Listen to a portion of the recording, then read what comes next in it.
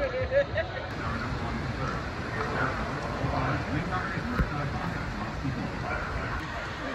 Charger, I have long legs. All right, let's go.